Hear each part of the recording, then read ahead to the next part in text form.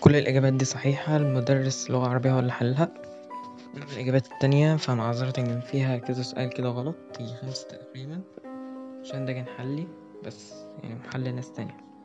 بس ده كله صح يعني.